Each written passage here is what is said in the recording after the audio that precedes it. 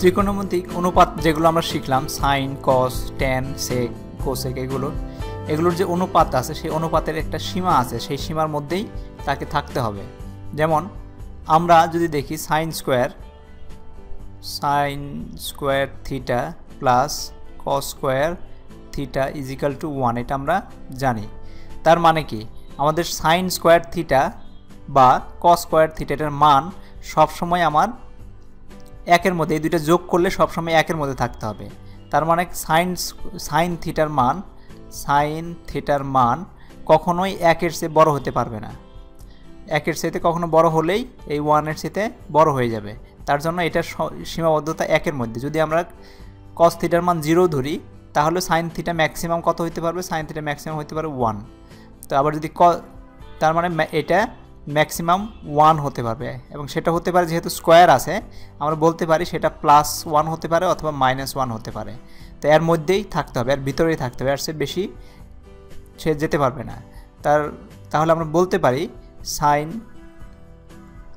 Minus one এটা লিখতে পারি minus one less than equals to sine theta R sine থিটার less than equals to one কারণ sine থিটার মান মাইনাস ওয়ান থেকে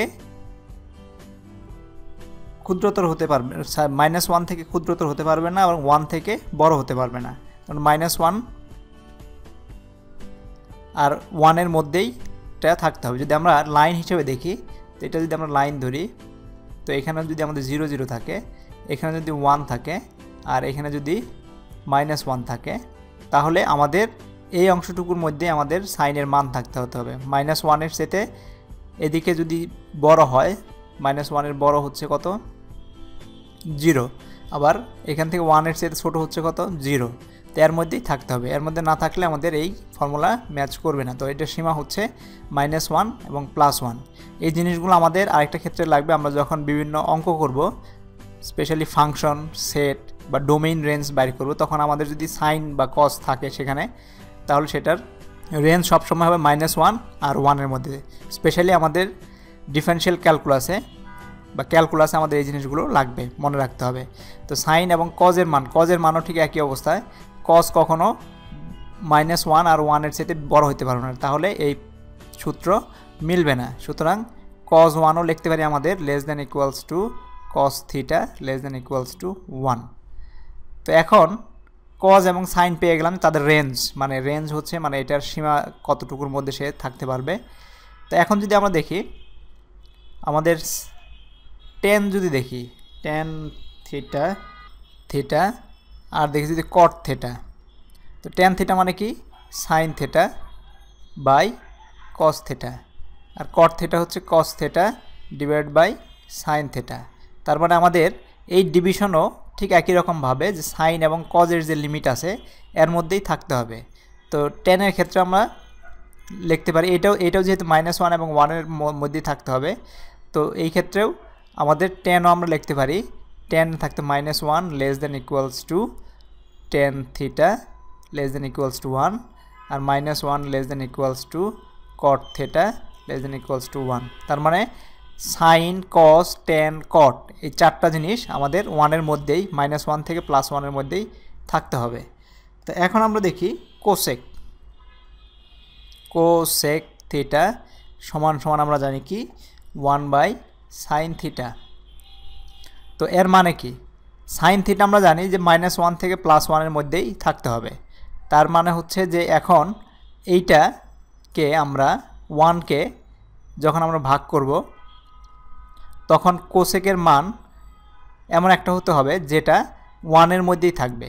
এর সাথে বেশি হতে পারবে না। তার মানে সাইন থিটা যদি আমাদের এখানে যদি ওয়ান থেকে ওয়ান থেকে মাইনাস ওয়ান হয় ওয়ান থেকে মাইনাস ওয়ানের মধ্যে হয়, তাহলে এই ওয়ানকে ছোট করার জন্য এই ওয়ানকে ডিভাইড করলে, যেমন এটা যদি ছোট, বেশি ছোট হয়ে যায় কস থিটা যদি এই এই সাইন থিটা মাইনাস ওয়ান থেকে ওয়ানের মধ্যে থাকবে, তার মানে হচ্ছে এইটা কখনোই সে এরকম হতে পারবে না, যে এটা ওয়ানের চাইতে ছোট হতে পারবে না। এখানে অবশ্যই ওয়ানের চাইতে বড় হতে হবে। ওয়ানকে যদি আমরা দশমিকে নিয়ে আসতে চাই বা সমান নিতে চাই সো ওয়ানের সমান অথবা বড় হইতে হবে, এই কস থেটাটাকে এবং মাইনাস ওয়ান মাইনাস ওয়ানের চাইতে বড় হইতে পারবে না। মাইনাস ওয়ানের সাথে বড় হইতে পারবে না। তার মানে আমাদের যা থাকবে, যদি আমরা লাইন ড্র করি, সহজভাবে বলি, যদি লাইন ড্র করি, এটা জিরো এটা যদি মাইনাস ওয়ান হয়, আর এটা যদি ওয়ান হয়, তাহলে এই অংশের মধ্যে কোনো ভ্যালু আমাদের কস থিটায় থাকতে পারবে না। এটাকে কারণ এটা সবসময় ওয়ানকে যদি এই মাইনাস ওয়ান ওয়ানের মধ্যে রাখতে চাই, সবসময় এমন একটা সংখ্যা দিয়ে ভাগ করতে হবে যেটা এটাকে একের নিচে রাখবে, একের নিচে রাখবে। তার মানে এই ভ্যালুটা অবশ্যই বড় হইতে হবে।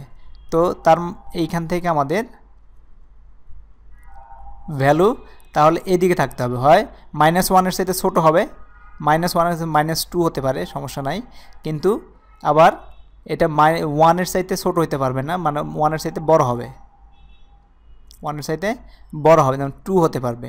যেমন ওয়ানকে যদি আমি টুতে ভাগ করি, তাহলে হচ্ছে পয়েন্ট ফাইভ এটা ঠিক রেজাল্ট দিবে।